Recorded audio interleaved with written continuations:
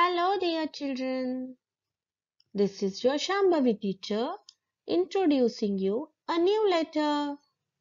Which is the letter we are learning today? Which is the letter we are learning today? Say it, hear it, learn it today. Say it, hear it, learn it today. Children, in the last video, you learned letter Y. So now, can you guess which letter will come after Y? Yes, letter Z.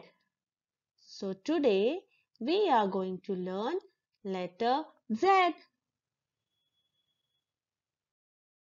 This is letter Z. This is capital Z and this is small z.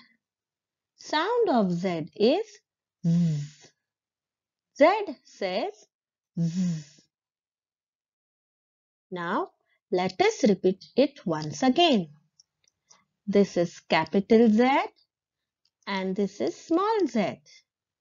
Z says Z.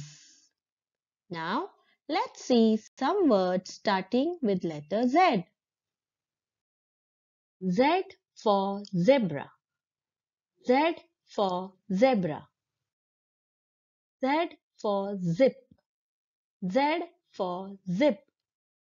Z for zebra crossing. Z for zebra crossing. Z for zero. Z for zero. Z for zigzag. Z for zigzag. Z for zoo. Z for zoo. Now let us repeat the words together again. Z for zebra. Z for zebra. Z for zip. Z for zip. Z for zebra crossing. Z for zebra crossing. Z for zero.